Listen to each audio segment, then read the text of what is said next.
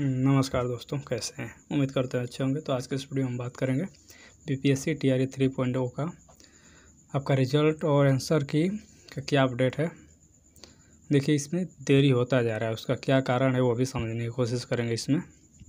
क्योंकि इस पर आपको मीडिया में देखने को मिलता आ रहा है कि अलग अलग डेट निकल रहा है, लेकिन ऑफिशियल कुछ नहीं निकल रहा है। तो चलिए देखते हैं। देखिए, इसमें ये आपको एम आर सीट से रिलेटेड एक आया था, जो कि सोलह तारीख को ही आया था। चौदह को आपको पता है, को एम आर के लिए नोटिस निकला था जो। तो इसमें कुछ गड़बड़ी देखने को मिला, कुछ लोगों का जो एम आर है उस पर थोड़ा सा इधर उधर आपको देखने को मिल रहा है। जो अब गोला जो रंगा है, कोई छोड़ दिया है तो उसमें अलग से फील हो गया है, किसी में किसी का गायब हो गया है। अब क्या है, वो तो आयोग ही बता पाएगा एक्चुअल में। तो आयोग ने एक नोटिस जारी किया था आपका सोलह तारीख को।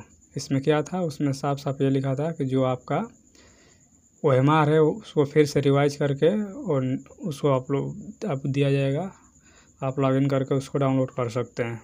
तो देखिए, उससे रिलेटेड आपको जो मीडिया में देखने को मिल रहा है, वो क्या है कि इसमें दे दे रहा है कि अब छब्बीस अगस्त तक आंसर की जारी किया जाएगा।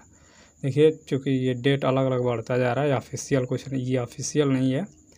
लेकिन ऐसा अनुमान लगाया जा रहा है कि 26 अगस्त तक आंसर की जारी होगा। लेकिन इसमें एक चीज़ ये दिया है कि ये जो 31 अगस्त तक रिज़ल्ट जारी करने का लक्ष्य है तो ये कैसे संभव है? जब 26 तक आपको आंसर की अगर उस दिन जारी होगा तो ज़ाहिर सी बात है फिर उसके बाद उसका ऑब्जेक्शन भी लिया जाएगा दो तीन दिन का।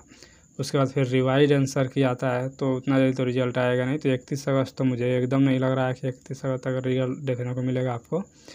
देखिए रिज़ल्ट आपका अगला जो मंथ है सितंबर उसी में जाएगा। इससे पहले तो कोई चांस नहीं लग रहा है मुझे।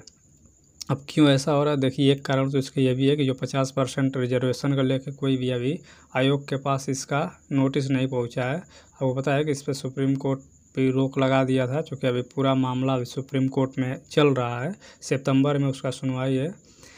तो एक कारण वो भी है इसका। कि आपको आरक्षण को लेकर के अभी भी कोई ऑफिशियल नोटिस जारी नहीं हुआ है इसमें, जो कि मतलब जो आयोग के पास नहीं पहुँचा बीपीएससी जो एग्ज़ाम करा रहे हैं, उसके पास अभी नहीं पहुँचा है। तो ये सब कुछ जो निर्भर कर रहा है, जो आपका रिज़ल्ट ये सब कुछ किस पे निर्भर कर रहा है? या आरक्षण को लेकर जो आयोग को पत्र है, कब प्राप्त होगा, इसी बात पे निर्भर करेगा कि आपका रिज़ल्ट कब तक आएगा। तो मुझे तो ये ऐसा लग रहा है कि ये रिज़ल्ट ये जो आरक्षण का जो आपका सुप्रीम कोर्ट का डिसीज़न है उसका, मुझे लग रहा है कि सरकार वेट कर रहा है इस पर बाकी आपको क्या लगता है वो आप कमेंट सेक्शन में बता सकते हैं। मुझे तो एक रीज़न वही है इसका सबसे कारण कि जो पचास परसेंट आरक्षण को लेकर के कहीं ना कहीं इसमें सरकार जो है वो दो मच में अभी कि क्या करना चाहिए। लेकिन हाँ अंदर अंदर उसमें वो भी पचास परसेंट के आधार पर उसने डेटा भी मांग लिया था सभी ज़िलों से। तो देखिए क्या होता है, लेकिन अब इसमें ज़ाहिर सी बात है, देर होगा रिज़ल्ट में। अब अगस्त तक तो एकदम नहीं रिज़ल्ट आएगा, इतना तो मुझे पूरा विश्वास है। सितंबर में आप कितने तारीख तक देंगे वो उनके ऊपर है। चलिए इसको, अब रिज़ल्ट तो आप देख लिए कि इतना जल्दी आएगा नहीं, सितंबर में ही आएगा। यहाँ सुप्रीम कोर्ट का आप देख सकते हैं डिसीज़न देखना चाहें तो। यहाँ से आप जाएँगे तो डायरी नंबर ये है अट्ठासी सॉरी अट्ठाईस, पाँच सौ चौवालीस डायरी नंबर है। तो यहाँ से आप जाकर सर्च कर सकते हैं केस नंबर भी यहाँ पे नीचे है, आप देख सकते हैं ये। ये केस नंबर ये है। इसको फिल करके आप, या फिर ये डायरी नंबर है अट्ठाईस पाँच सौ चौवालीस, यहाँ पर आप जाएँगे सुप्रीम कोर्ट के वेबसाइट पे। डायरी नंबर यहाँ डालेंगे। और ये, ईयर दो हज़ार चौदह, यहाँ से कैप जो कैप्चा ये आप फिल करेंगे तो आपको ये ओपन हो जाएगा। जो केस चल रहा है आपका रिजर्वेशन को लेकर सुप्रीम कोर्ट में तो यहाँ से आप देख सकते हैं ये।